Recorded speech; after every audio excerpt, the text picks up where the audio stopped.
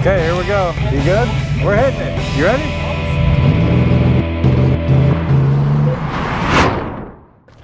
So we built down here, we have what we're gonna call the farmer brace.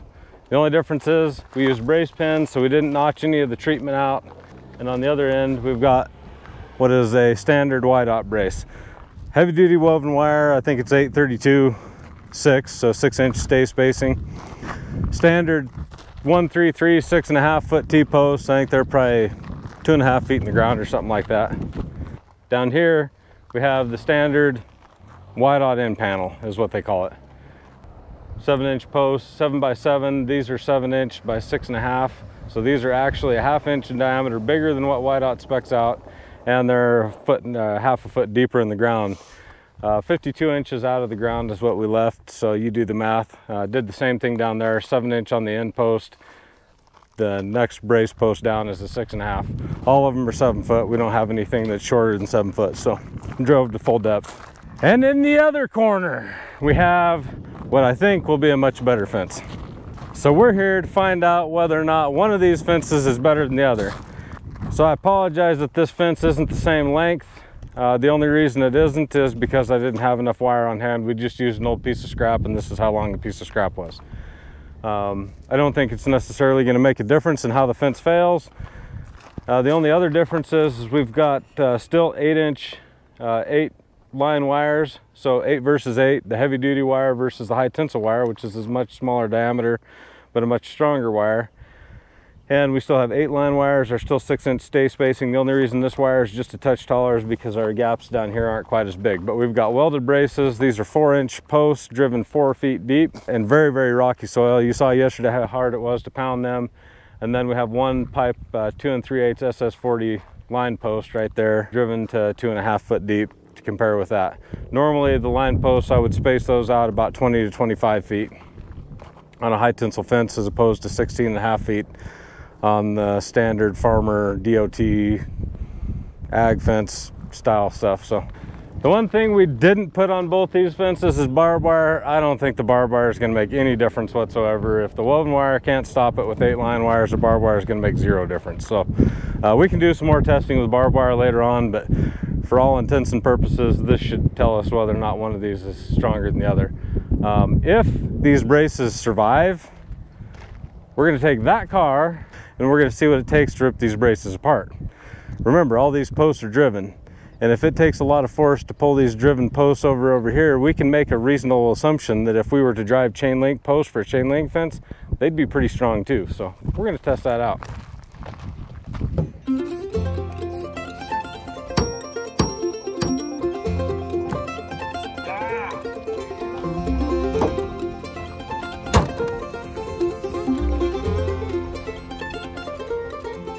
In just a minute, we're gonna take this car, which we have so eloquently decorated, and run it into that fence. You might ask yourself, why do we have the bullhead? Why do we put this on here? It's because we so badly wanted to pretend that we were gonna run into this fence with the bull. Because we all know how horrible bulls are on fences. We thought we would make a bull of our own, one that we have a little bit more control over. So this is our bull. Wanted a Taurus, we have El Toro go ahead, fire it up. We did, we did spend a little bit of time shining it up, making sure it was ready for the job. Yeah. Cut it off, it's a little loud. and if you want to see us decorating this, you'll have to head over to Why Fly Guy and check that page out where we show you how we cut the exhaust off of it and did some other things. And when this car is done, when we're done with this car and we've gotten all the useful life out of it possible, we will be decorating it even more and it will be worth nothing but scrap price when we're done. So as long as it still runs, we will be doing things with it. Those videos will be on Why Fly Guy. This video is on SWI Fence to help you understand how to build a good quality ag fence. we'll be doing some other testing as things goes on, I'd like to do a lot more testing about chain link fence and just different means and methods of getting things done. I really think the fence industry in general is stuck in olden times. So we thought what funner way to test things than to destroy some stuff in the process. So.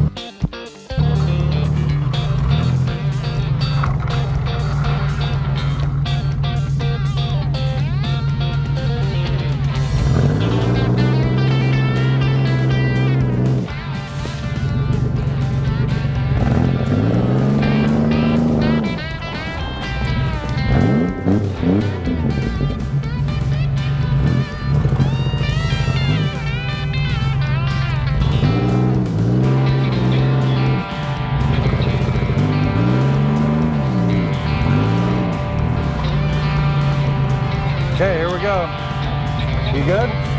We're hitting it. You ready?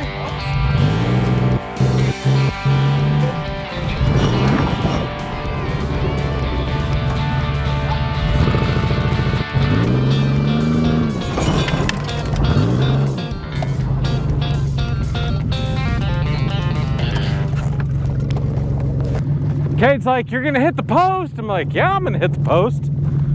So really, the brace on both of these held up fairly nicely. What do we got down here though? I think, look at, look at this, look at here. I don't know where the, oh hey, here they are. It actually broke the knots. As you can see, the fence though is still uh, actually in good straight shape. I don't know what this stuff is, but that's that's some bumper, that's some bumper stuff. Oh yeah, by the way, this car, this truck car runs on freedom. This is my life. I treat this baby with very utmost care and respect. I would hate it if anything bad happened to it. All those knots are good. It did take a lot of force to break through these. All right, let's go check this fence out and see how it did. So as could be expected, that one actually snapped and this one just stretched.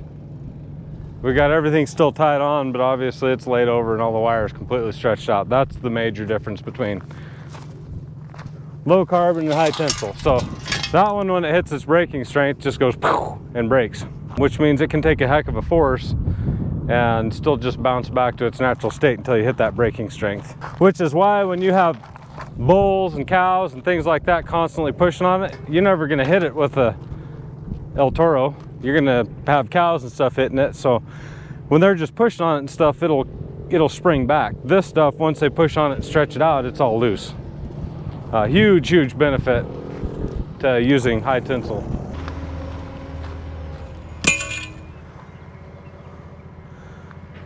There's the post. That's all the deeper it was in the ground. This deep. And it was solidly in the ground yet. So whether or not we had concrete on this post, let's say it's a chain link post, this is a chain link fence. Whether we had concrete on that post makes zero difference. None. It bent right at the ground. Um, if you got really soft ground, you might have to pound the post maybe four feet deep, but this is only in the ground two and a half feet deep and still held up to the abuse that we just dished it through. So that myth that we have to use concrete on chain link fence posts is fairly easily busted. Usually if we're gonna drive them, we go three feet deep, so this would be another six inches deeper in the ground, but it's still gonna fold over at the ground. The benefits to not using concrete is we don't have to worry about frost heave. Up in the northern climates where they got a lot of water in their soil and stuff like that, they've got serious frost heave issues. And not using concrete is a big, big benefit. In a dry climate like ours, we don't have to worry about rust or anything, but even rust. The concrete's gonna heave and you're gonna have concrete issues well in advance of that post rusting. So.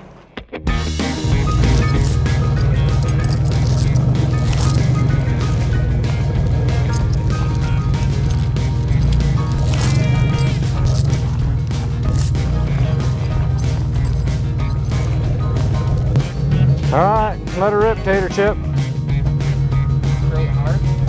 Uh, I don't know. It just depends. What do you want to do? You want to give it a bump first? We'll give her a bump. Give it a bump. Give it a snug. Oh yeah, that's a snug bump.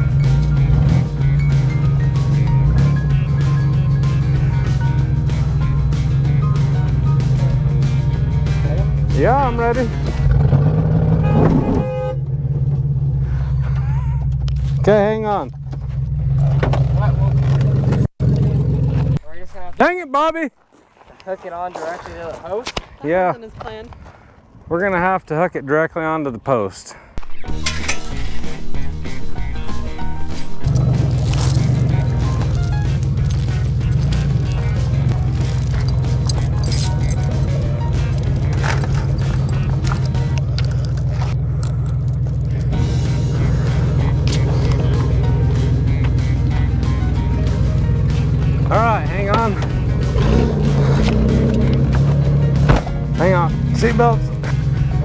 yeah, we're still only getting 12 miles a gallon. Okay.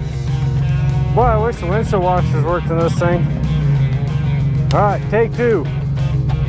Let's go.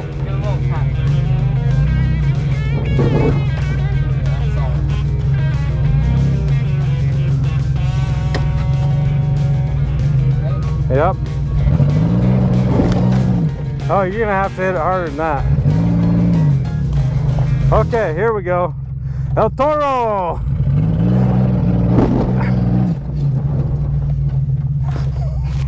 Ripped it right out of the ground.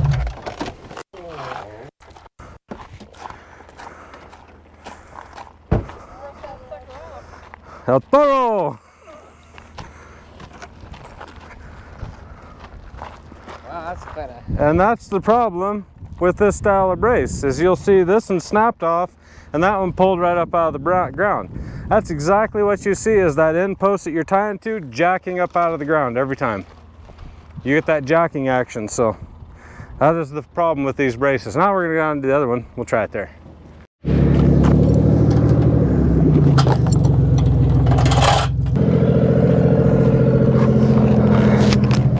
How do you feel about this?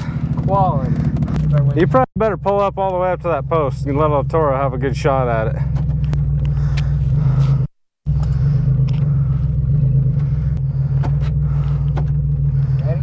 I'm ready. I was born ready.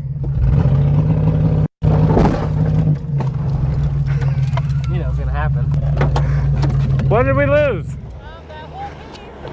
Man, I thought they made those bumpers stronger than that. Why is there cloth in between there? What's that all about? It's a pillowcase. Why would somebody do that? It must have been not getting warm enough in the winter. We call this redneck testing if you didn't know. It's not super scientific, but what we're doing is putting it through its paces. You get the idea if something's tough. Apparently that's that's a little tougher than I thought. I think we're gonna have to come back and try this in some super sloppy ground with like maybe a four-wheel drive. Cause in super sloppy ground, this thing would have just jerked right out. Well, we'll get it. Well, we lost our bumper. Okay, back it up. We still got the back.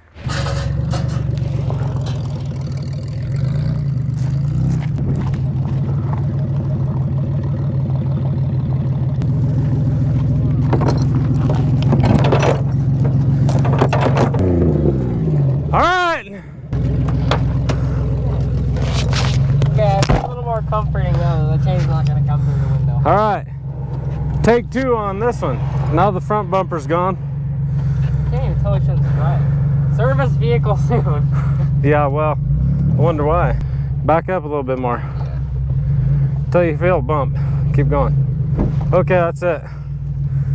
All right, let it rip. We got some.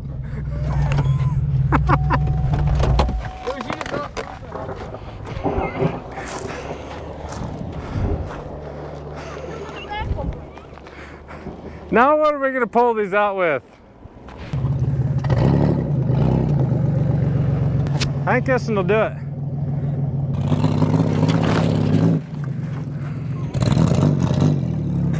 One more good one.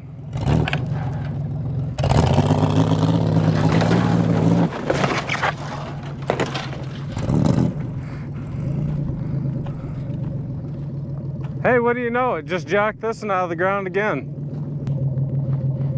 That apparently, if you want to hook on to that and tow it, that's the best point to tow it. That's taking a lot of abuse.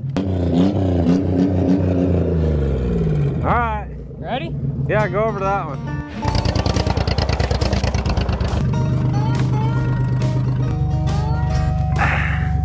There's a little glass in the seat. It says it's hot. It says it's a little roasty. It says the trunk's open too. The trunk's open. Hey, could you catch our trunk for us?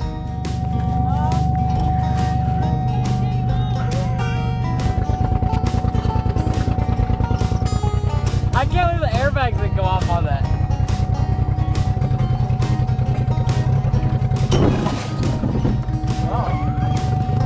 Come on! it won't go! This is, it won't go! Give it a second. What? Give it a second. Give it a second. It's really dinging at me. It's like really ding. It's super angry. The El Toro is super angry. It ding, ding, ding, ding, ding. I'm floored.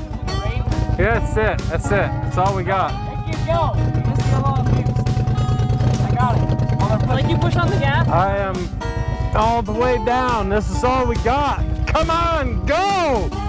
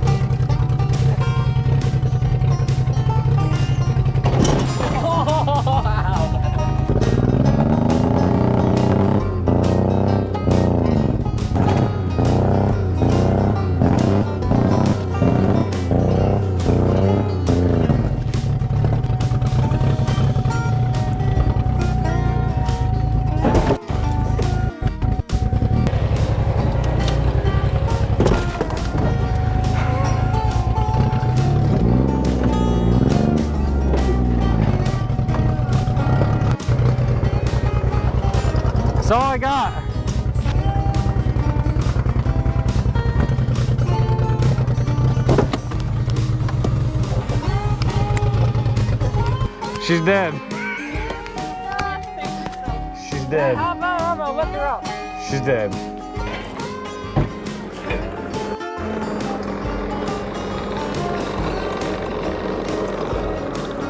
El Toro is super hot. I thought you said you closed my trunk.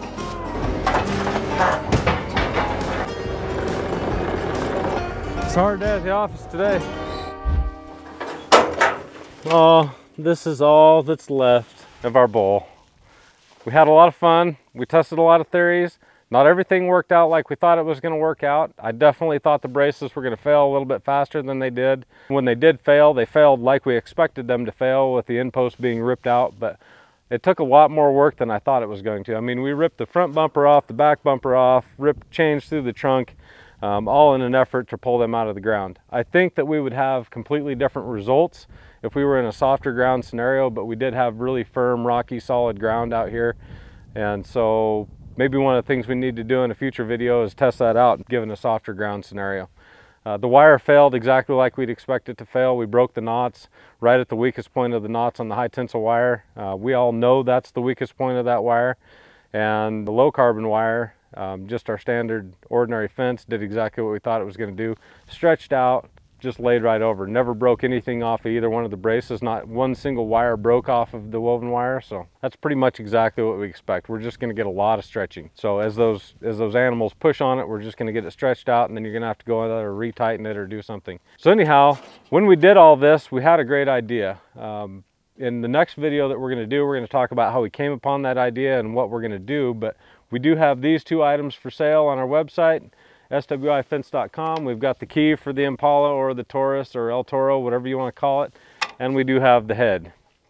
So if you're into roping or you just want a commemorative item, then purchase those. That money will be going to a good cause and you'll see all about that. Uh, I don't know. We're going to set the prices artificially high because we are going to use the money for good, as you will see in the next video. Anyhow, if you like what we're doing, make sure you subscribe. If you hate what we're doing, let us know how we're doing it wrong. We're always open to ideas. Hit the little notification bell so that you know the next time we have some harebrained idea what we're doing. And be sure to follow along for all the action. That's really all I have to say about that. And until next time, you have a good dang day.